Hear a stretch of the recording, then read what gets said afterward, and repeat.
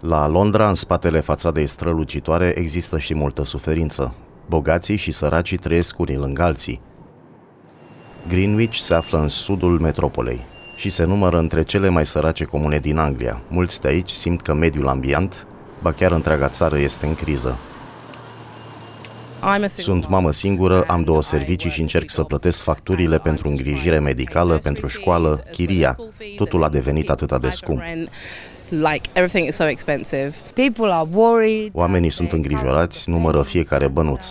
Acum a devenit foarte greu pentru toți. People spend so much time and effort trying to pay rent. Oamenii pierd mult timp și fac eforturi pentru a-și plăti chiria. Adesea ei pierd din vedere obiectivele lor reale, ceea ce ar vrea să facă.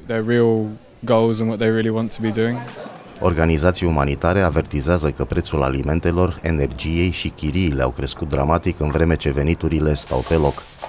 Mulți oameni sunt dependenți acum de cantina săracilor.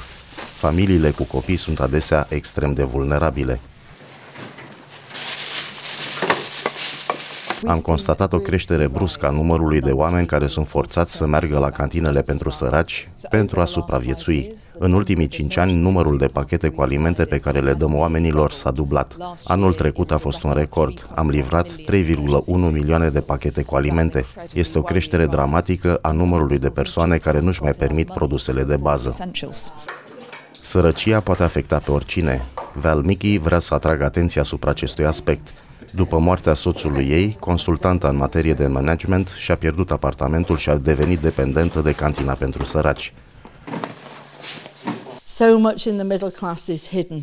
Atâtea aspecte sunt ascunse în clasa de mijloc. Probabil că o sumedenie de lume se confruntă ca mine cu greutăți, dar oamenii cred că a cere ajutor este cel mai rău lucru pe care l-ar putea face.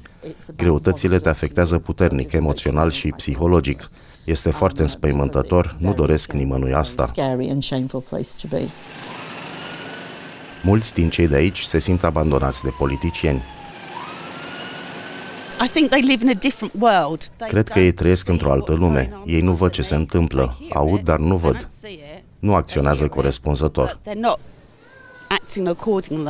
But They're not acting accordingly. I think they get their lunch in uh, in the house of. Uh, Iau prânzul în Palatul Westminster, li se decontează o grămadă de cheltuieli. Nu cred că au idee ce se întâmplă. expenses That they can claim.